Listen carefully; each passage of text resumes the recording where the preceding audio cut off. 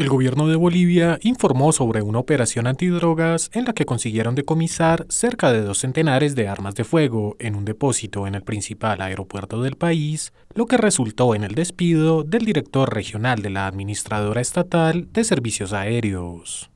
El ministro de Gobierno, Eduardo del Castillo, presentó el caso y enumeró cada uno de los elementos decomisados ante los medios en la región oriental de Santa Cruz, la más poblada del país. Producto de este operativo, la Fuerza Especial de Lucha contra el Narcotráfico ha logrado el secuestro de un DVR que nos va a proporcionar mayor información, un router de Wi-Fi,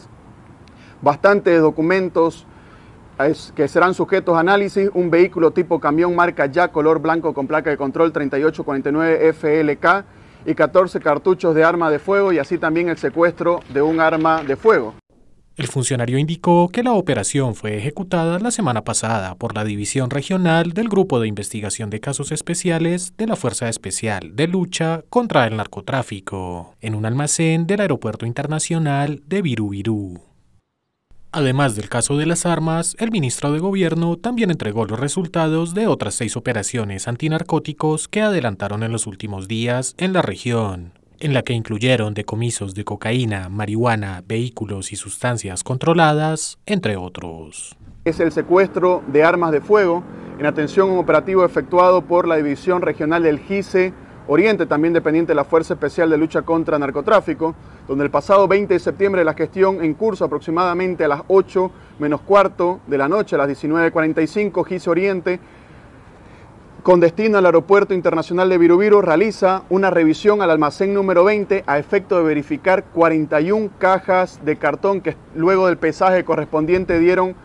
a más de 1.060 kilogramos. Realizando la revisión de este tipo de cajas se logró secuestrar 100 fusiles tipo AK-47 marca Daglioglu, calibre 7.62, 80 eh, fusiles eh, marca Zulun Arms, eh, perdón, son escopetas calibre 12 mayor, cuatro fusiles M4 calibre 9.19 marca Agda Ciudad,